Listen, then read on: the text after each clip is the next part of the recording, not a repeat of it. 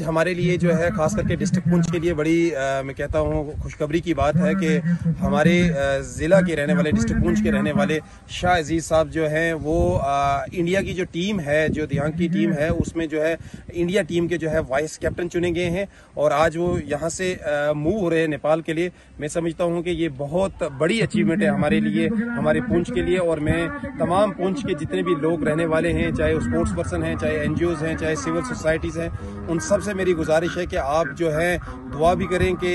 आने वाले वक्त में जो है शाह अज़ीज़ साहब जो है इंडिया टीम के जो है कैप्टन भी बने।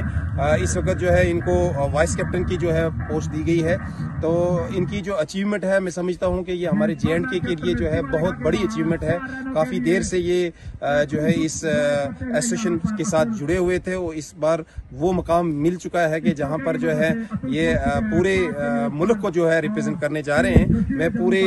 पूंछ की जितनी भी स्पोर्ट्स पर्सन हैं, जितने भी एनजीओ हैं, जितनी भी सिविल सोसाइटी है, जितने भी पॉलिटिशियन हैं, उनकी तरफ़ से इनको मुबारकबाद देता हूँ, पुंछ एडमिनिस्ट्रेशन की तरफ़ से इंडियन आर्मी की तरफ़ से इंडियन पुलिस की तरफ़ से इनको बहुत बहुत मुबारकबाद देता हूँ और इनके फ्यूचर के लिए जो है बेस्ट विशेष भी देता हूँ। Vice captain vice captain Indian दिव्यांग क्रिकेट टीम मैं सबसे पहले अफरीदी भाई का शुक्रगुजार हूँ कि उन्होंने